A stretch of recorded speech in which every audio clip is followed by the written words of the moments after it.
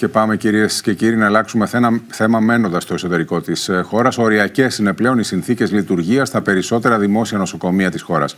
Είναι χαρακτηριστικές οι εικόνες από το νοσοκομείο Σωτηρία με τα δύο από τα τρία ασθενοφόρα του εν λόγω νοσοκομείου να είναι εκτός λειτουργίας.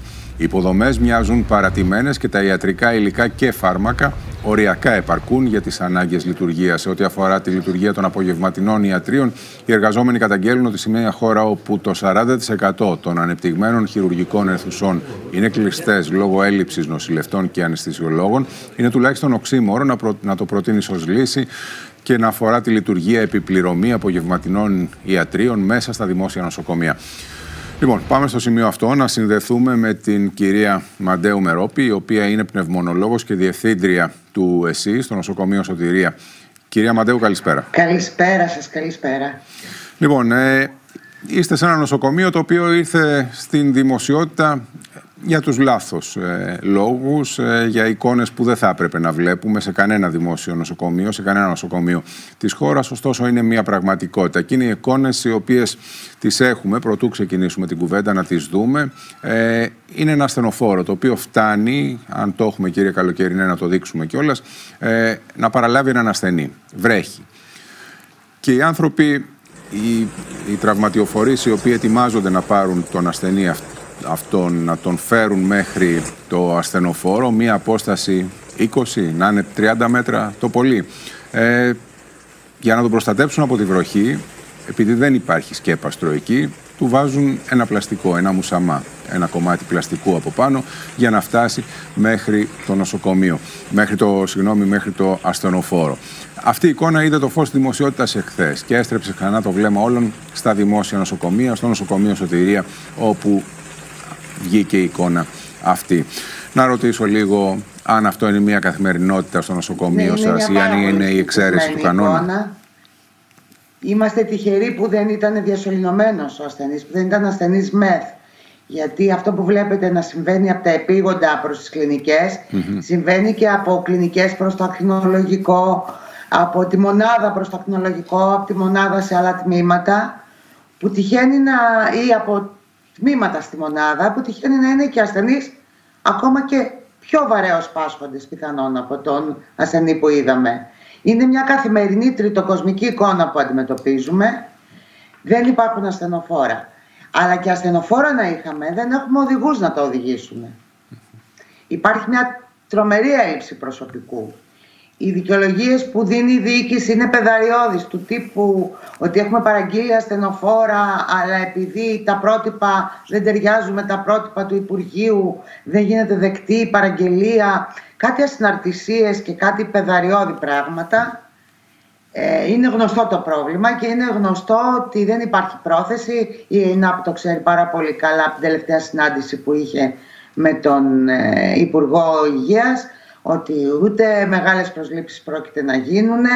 Ίσα ίσα στο νοσοκομείο μας εχθές και σήμερα, ε, σήμερα είχαμε απολύσεις. Ε, γιατί αναλαμβάνει εργολάβος την καθαριότητα και φεύγουν οι υπάλληλοι που ήταν οι Άρα συμβαίνει και σε εσάς αυτό, συμβαίνει και στον Άγιο Σάββατο, είδαμε τις προηγούμενες Βεβαίως συμβαίνει και ε, όχι μόνο δεν προσλαμβάνουν, απολύουν κιόλας. Δηλαδή ε, η κατάσταση έχει φτάσει στο προχώρητο. Οι ελλείψεις των υλικών, οι ελλείψεις ναι. των ε, ακόμα και φαρμάκων ακούγεται ότι υπάρχουν ε, ελλείψεις ε, στα νοσοκομεία, οι ελλείψεις του προσωπικού. όλα, αυτά, όλα αυτά, εάν χρονίζουν, οδηγούν σε ένα διέξοδο. Η επίλυση γιατί δεν δρομολογείται, ποιο, ποιο, ποιο, ποιο είναι το σκεπτικό πίσω από τη μη επίλυση αυτών των ζητημάτων; Οι δικαιολογίες είναι πολλές. Το ότι υπάρχουν που... δύο ασθενοφόρα εν λειτουργία και πολλές φορές χαλάνε από τα δύο και το ένα, το, το ακούμε εδώ και κοντά 1,5 χρόνο, αν δεν κάνω λάθος. Ναι, και δεν γίνω... Ε, αυτό θα ήταν ένα πολύ καλό ερώτημα προς τη διοίκηση του νοσοκομείου. Mm-hmm. Ε, την οποία όταν ρωτάμε εμείς, απαντάει ασυναρτησίες.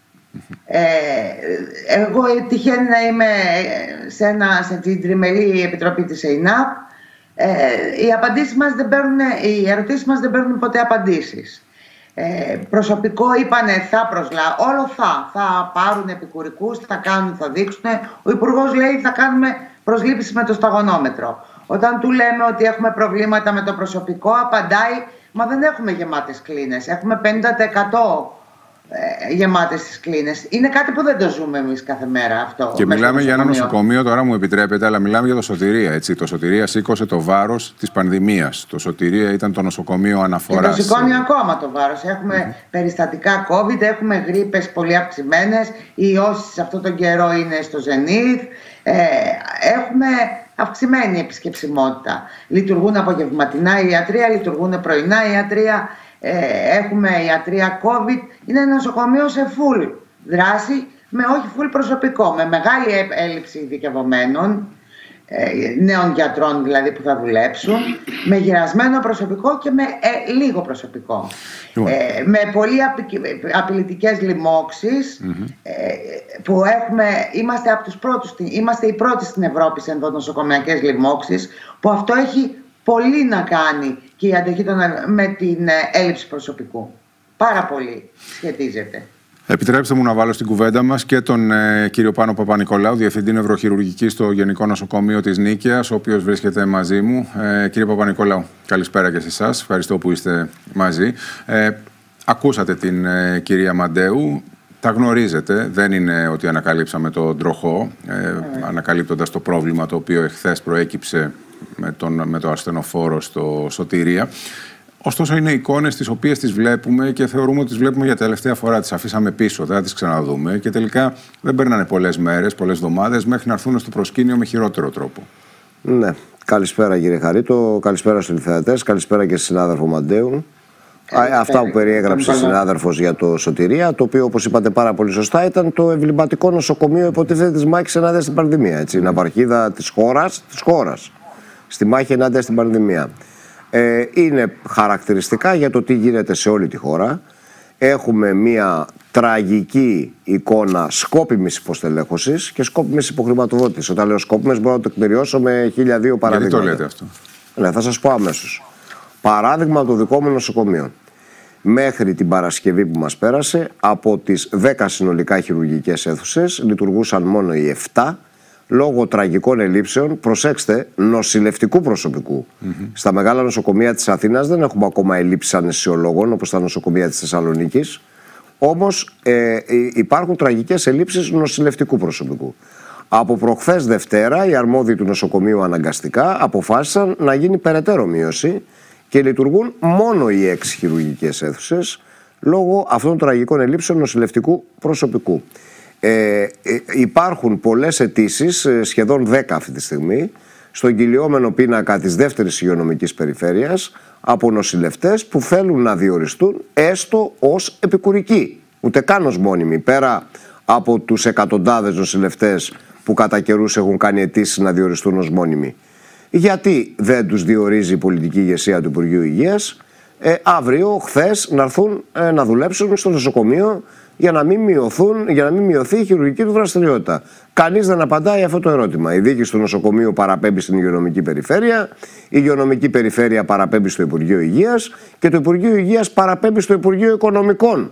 Δηλαδή το διανοείστε τι λένε, ότι για να προσληφθούν 4-5 επικουρικοί νοσηλευτές ώστε να λειτουργεί στοιχειοδός το χειρουργείο του μεγαλύτερου νοσοκομείου της χώρας σε αριθμό εξυπηρέτηση επιγόντων περιστατικών, χρειάζεται ειδική έγκριση με χρυσόβουλα από το Υπουργείο Οικονομικών. Ε, αυτή είναι η κατάσταση σε όλη τη χώρα. Είναι μια σκόπιμη υποστελέχωση, σκόπιμη, ε, έτσι ώστε να γίνει η πλήρης ιδιωτικοποίηση των πάντων. Είναι πάρα πολύ απλά τα πράγματα για να μην τα κλωδογυρίζουμε. Αυτά τα, έχει, τα έχουν πει ε, στελέχη της κυβέρνησης κατά καιρούς ε, τελείως ξεκάθαρα και τα έχουν ξεφουρνίσει. Δεν χρειάζεται να κάνουμε ερμηνείες. Μάλιστα, λοιπόν. Μαχτικό, ε, δεν ξέρω αν ακούγομαι. Παρακαλώ, ναι, το, ακούγεστε. Το τρομακτικό είναι ότι δεν υπάρχει plan B. Είναι σίγουρο ότι είναι η πολιτική να το καταργήσουμε το εσύ. Να μην υπάρχει η πλήρης ιδιότητα. Με τι πλάνο; Δεν υπάρχει κάποια μορφή δεν υπάρχει κάποια μορφοποίηση. Ε, με τι θα το αντικαταστήσουν ακριβώς; Με, αυτό, με αυτό που λέει ο κύριος Γεωργιάδης. Μείνετε, ε, μείνετε μαζί μου, μην το ανοίγετε. Πάμε, ε, πάμε στο σημείο αυτό, πάμε στο σημείο αυτό, κύριε Καλοκαιρινέ, ε, να δούμε την ε, δήλωση που έκανε νωρίτερα σήμερα το πρωί στο ραδιόφωνο του Ριέλ ο Υπουργός Υγείας, ο κύριος Άδωνης Γεωργιάδης. Να την ακούσουμε και αμέσως μετά να το σχολιάσουμε. Εγώ θέλω να μιλήσω με ειλικρίνεια στον κόσμο. Σήμερα κάποιος που δίνει φακελάκι πάει γρηγορότερα ή όχι κύριε Χατζηνικολάου; Ε, τώρα αυτό είναι...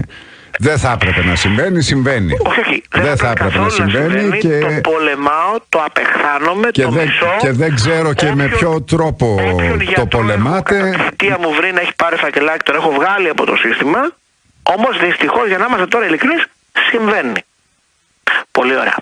Τι λέμε τώρα; Λέμε αντί να συμβαίνει παράνομα και εξωθεσμικά, θα συμβαίνει νόμιμα και θεσμικά. Άρα θα μειωθεί και το φακελάκι.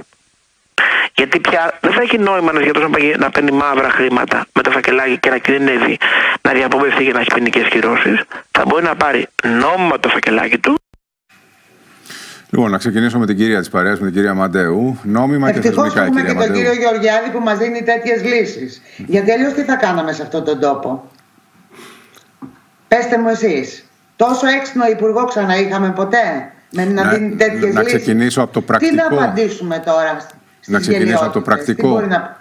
Ε, υπάρχει, σημείωσα πριν, ε, μίλησε ο κύριος, Παπα, ο κύριος Παπα-Νικολάου για ε, 10 χειρουργία, εκ των οποίων λειτουργούν τα 7. Έτσι, Έτσι είναι αντίστοιχα και στα άρα, εξωτερικά όταν, και σε όλα τα έξι. νοσοκομεία. Άρα, όταν δεν μπορείς να λειτουργήσεις τα πρωινά, Τα- τα, δεν οποία μπορείς να από τα 10 λειτουργήσεις ούτε λειτουργούν και τα τα 7 απόγευματα. ή τα 6, το απόγευμα πώς θα το τρέξεις αυτό το project, αυτό το Τι εγχείρημα. να σας πω.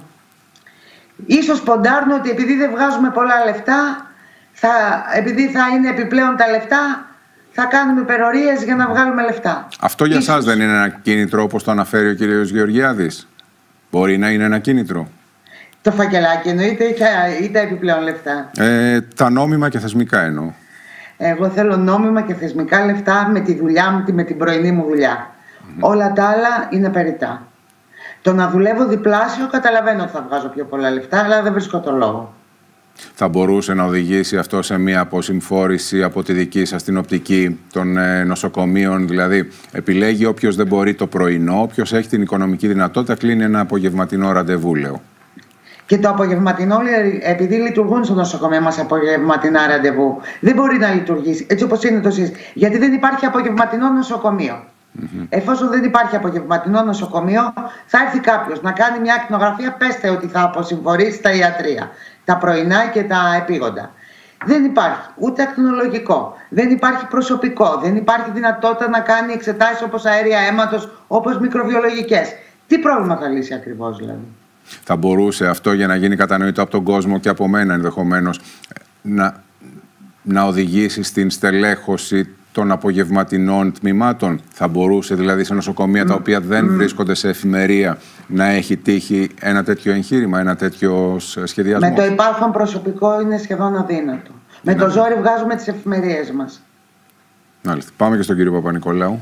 Ναι, ε, κοιτάξτε, ε, ο κύριος Γεωργιάδης ε, τι μας είπε τώρα. Ε, βέβαια, καλά, δεν είναι καν πρωτότυπος, έτσι, ο- δεν δικά του αυτά. Τα έχει αντιγράψει από παρόμοιες δηλώσεις, copy-paste σχεδόν, ε, που είχε κάνει σε τηλεοπτικούς σταθμούς το Φεβρουάριο του 2022 η κυρία Γκάγκα. Η, η τότε αναπληρώτρια Υπουργός Υγείας, η οποία είχε νομοθετήσει και αυτή την απαράδεκτη διάταξη. Δηλαδή, ότι αφού ο κόσμος δίνει φακελάκι, ε, τότε αντί να διώξουμε αυτή τη μειοψηφία των επίορκων, η οποία εκθέτει τη μεγάλη πλειοψηφία των έντιμων μαχόμενων νοσοκομιακών γιατρών, ε, την οποία τόσο η συνάδελφος η Μαντέου, όσο και εγώ, όσο και η συντηρητική πλειοψηφία των ε, νοσοκομιακών γιατρών, δεν τους θεωρούμε καν συναδέλφους μας, έτσι. Αυτή τη μειοψηφία των εκβιαστών, για να είμαστε ξεκάθαροι, το έχουμε δηλώσει πάρα πολλές φορές. Αντί να πατάξουμε τη διαφθορά, τι να κάνουμε, να την νομιμοποιήσουμε. Αυτό είπε ο κύριος Γεωργιάδης, αυτό είχε πει και η κυρία Γκάγκα και μάλιστα με έναν απροκάλυπτο, κατά τη γνώμη μου, χιδαίο τρόπο. Αυτό είπε. Ε, και προσέξτε να δείτε τώρα να μιλήσουμε συγκεκριμένα, ε, με αριθμούς, έτσι. Ο, και τόσο η κυρία Γκάγκα όσο και ο κύριος Γεωργιάδης ε, είχαν κάνει και τότε το 22 αλλά και τώρα που θέλουν να ενεργοποιήσουν αυτή τη διάταξη δηλώσεις και για ποσά. Λένε ο ασθενής ο οποίος θα χειρουργηθεί στο πληρωτικό χειρουργείο θα πληρώνει από την τσέπη του νόμιμο κρατικό φακελάκι, προσέξτε, το 30% του κλειστού ενοποιημένου νοσηλείου. Το 30% του κλειστού ενοποιημένου νοσηλείου για τις επεμβάσεις με τη μικρότερη διάρκεια, γιατί αυτές λένε ότι θα βάλουν κατά προτεραιότητα εκεί, τις δύο ώρες, τις τρεις ώρες, είναι από 1.500 ευρώ και πάνω το 30% του κλειστού ενωπηριμένου νοσηλείου. Για μια συνήθη, το χρησιμοποιώ συχνά αυτό το παράδειγμα, για, για μια επέμβαση της δικιάς μου ειδικότητας, καθημερινή, ρουτίνας, για μια καλοήθη πάθηση, για μια οσφυγική δισκοκύλη που δεν απειλεί τη ζωή, προκαλεί ανυπόφορο πόνο στο πόδι, ισχυαλγία ας πούμε έτσι, ε, που ε, θέλει μια επέμβαση ε, 2,5 ώρων και θέλει και μια νοσηλεία στο νοσοκομείο 24 με 36 ώρες. Το κλειστό ενοποιημένο νοσήλιο είναι 4.500 ευρώ, άρα θα κληθείτε να πληρώνετε από την τσέπη σας κρατικό φακελάκι, νόμιμο σε εισαγωγικά, 1.500 ευρώ. Εσείς που μπορεί να πληρώνετε, να έχετε πληρώσει δεκαετίες τσουχτερές ασφαλιστικές εισφορές περίθαλψης και που είστε πολύ σκληρά φορολογούμενος. Γιατί δηλαδή σας υποχρεώνει ο κύριος Γεωργιάδης και πριν από αυτόν η κυρία Γκάγκα να πληρώσετε από την τσέπη σας την ώρα της ανάγκης αυτό το κρατικό φακελάκι; Α μας το εξηγήσει. Επίσης, σε κάποιο τηλεοπτικό. Από αυτό το ποσό ναι. που αναφέρατε, τι είναι αυτό που μένει στο κράτος, τι είναι αυτό που πηγαίνει στο γιατρό, είστε σε γνώση; Όχι, δεν, δεν έχει βγει και κάποια εγκύκλωση η οποία να μας το λέει. Okay. Αλλά, εν πάση περιπτώσει, ε, ε είπε ο κύριος Γεωργιάδης επ' αυτού, αυτό ετοιμαζόμουν να πω. το ρώτησα για να γίνει ναι. κατανοητό αν πάμε σε μια ιδιωτικοποίηση και της δημόσιας υγείας ή όχι. Καλά, αυτό είναι σαφές. Αλλά το δεύτερο επιχείρημα για το χρησιμοποίησε σε κάποιο τηλεοπτικό σταθμό, όχι στο ραδιόφωνο, πάλι αυτές τις μέρες είπε το εξής ότι τι να κάνουμε, το κράτος δεν μπορεί να δώσει αξιοπρεπείς μισθούς στους γιατρούς. Αυτό είναι ε, και αντίθετα με το αφήγημα του Πρωθυπουργού του κ. Μητσοτάκη, έτσι. Που σας υπενθυμίζω ότι και ο κ. Μητσοτάκης και ο κυβερνητικός εκπρόσωπος μέχρι τώρα μας έλεγαν ότι δίνουν παχυλούς μισθούς στους νοσοκομιακούς γιατρούς. Ναι. Και ότι θα δώσουν και νέα αύξηση.